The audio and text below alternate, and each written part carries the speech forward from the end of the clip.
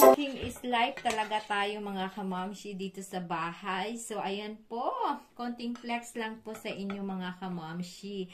So, ayan. Yummy licious na naman yung magiging food namin for today mga kamamshi. And sorry na po sa mga ka mga kamamshi reels natin dyan na palagi na lang kayong ah, may mga ganitong wall na makikita sa aking mga ganap-ganap mga kamamshi.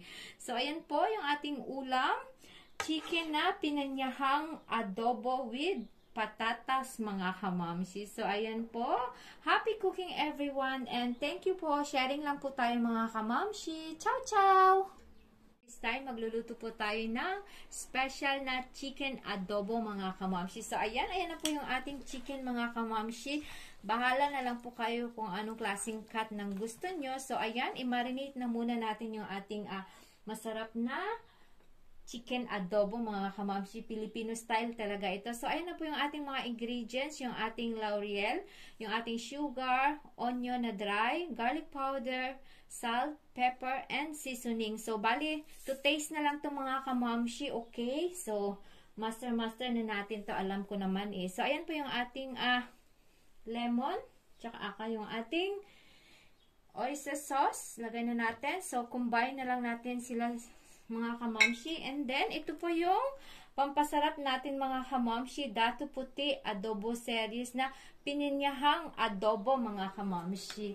So, ayan. So, lagay lang natin silang lahat-lahat. So, ganyan mga kamamshi. So, after nyan, mix well natin po mga kamamshi para mag-absorb yung ating mga nilagay na mga pampasarap. So, mga kamamshi, so ayan, cooking is life talaga tayo mga kamamshi. So, so after nito, man nating mamarinate mga kamamshi, i-allow nating uh, i-rest ng mga 1 hour para ma-absorb talaga mga kamamshi. Okay? So, ayan, alright, alright na talaga itong mga kamamshi. So, ayan, okay na po yan. Na, na-mix na natin ng maayos. So, ayan, i-rest lang muna natin ng 1 hour mga kamamshi olive oil, pero you can also use uh, normal na oil, mga kamamshi. And then, add natin yung ating ginger.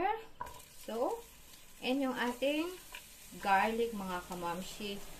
So, ayan, ganyan na. Alam ko, perfect nyo na itong adobo na to natin, mga kamamshi, kasi meron naman tayong iba-ibang style ng pagluto ng adobo. So, ayan, nagsishare lang naman ako, mga kamamshi, kasi alam nyo na yung ating mga ganap this time, mga kamamshi, ba diba? So, ayan, i konting brown lang siya mga kamamshi. So, ayan po mga kamamshi, nag-almost brown na rin. So, i-add natin yung ating uh, onion. Bali, itong onion na ito mga kamamshi is uh, bake na po yan. So, meron kasing nabibili na ready na siya. So, ayan, lagay na natin. Tapos, ilagay natin yung ating chicken na minarinated mga kamamshi. So, ayan, ganyan. Tapos, uh, give a mix.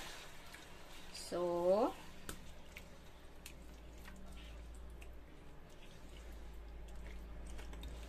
So, ayan mga kamamshi. Na-mix na natin. Tapos, cover lang natin siya ng saglit. So, ayan mga kamamshi. Add tayo ng ating uh, water. Yung pinagmarinata natin ng uh, kanina na bowl is lagyan lang natin ng water mga kamamshi. So, ayan. And, i-allow natin uh, mag-tender na na yung ating chicken. Saka natin maglagay ng konting mga pangpasarap mga kamamshi. So, ayan po. Keep on watching. So, ayan mga kamamshi. Medyo nag-boiled na siya. So, i-add natin konti yung ating light sauce. Tapos, uh, yung ating uh, vinegar. Tsaka yung ating pork cube mga kamamshi. So, ayan lang kasi meron sa bahay. And then, i-add na natin yung ating uh, patatas mga kamamshi. So, ayan, patatas. Lagyan natin para maiba naman mga kamamshi yung ating adobo. So, ayan. So, give a mix mga kamamshi uli.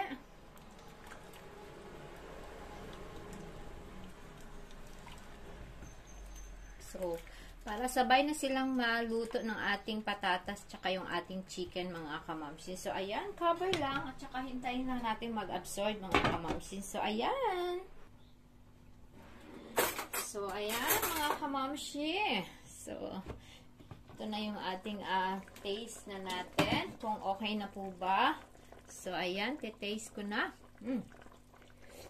Mm. So, So far, okay na po naman para sa akin yung taste mga kamamshi. So, ayan.